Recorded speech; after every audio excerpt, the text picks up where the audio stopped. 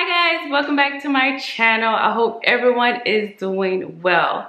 So in this video, I'm going to show you how to pass AHIP on your first try. You have three attempts to pass AHIP.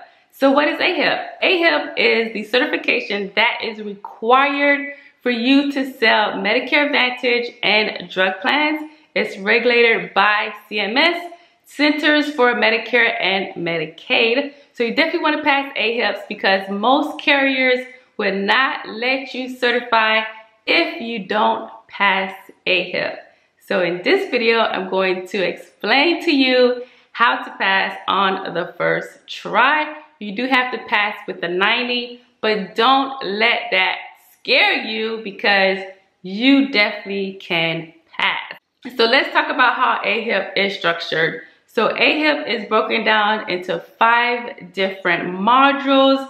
Each module is like a chapter, but it has like different chapters within that module. So it's broken down into five different modules. So it's very important for you to structure your studying with these five different modules. I recommend that you organize everything. I have everything in a binder. So when I do AHIP, I print out all the materials and I put them in a binder. After you study for every module, you will have a quiz attached to that module. All the quizzes combined and one is the actual final exam.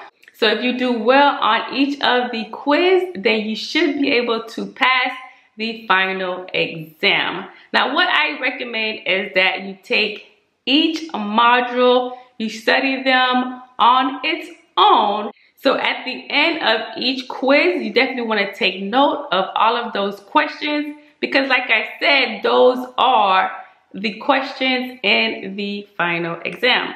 So how do you organize AHIP? All right, so the first thing you want to do is break down the five modules in a index card like this. So each module is classified on this index card so that way so that way I know where the information is if I wanted to use my modules while I'm taking the exam.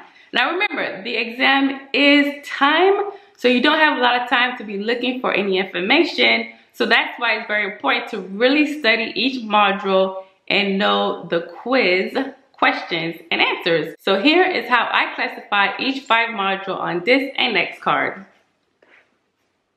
So as you can see, module one covers Medicare Part A and B, Medigap, which is supplement plans. Module two covers Medicare Advantage. Module three covers drug plans. Module 4 covers marketing and appointments. Module 5 covers enrollment rules. So like I said, I like to organize everything before I take and study for the actual AHIP certification. I like to take notes, I like to highlight and things like that. So this binder has all the information for module one and I keep a lot of notes in here on the quiz as well for module one. Same thing here for module two. All of the information for module two is in this binder right here. All of my notes, all the highlights and everything, and all the quiz information is in this booklet right here. Now we have module three, it's same thing, not gonna repeat it. We also have module four, same thing. And we also have module five, same thing. So that's how I pass AHIP on the first try. I have everything organized. I read everything, I highlight areas, and that helps me pass the final exam on the first try. So that's how you pass AHIP on the first try. What about using AHIP as a resource after passing the certification? Well, since you have all of the modules already organized in binders, you can go back and answer questions that clients may have or questions you may have by just going back to your binder. You look at your postcard and you kind of decide where that information can be. Like a question on a drug plan or a question on Medicare supplements, which is the Medigap plans, right?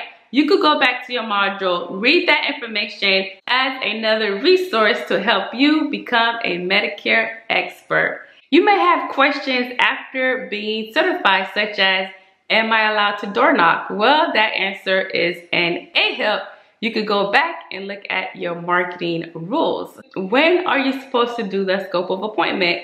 Well, go back to AHIP. It's there under appointments. So those are the things that you can utilize AHIP certification for after you have become certified. I hope you guys enjoyed this video. Please subscribe if you're not already subscribed.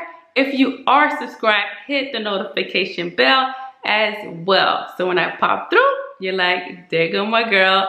So anyways, thank you guys for watching and I'll see you on the next video. Bye.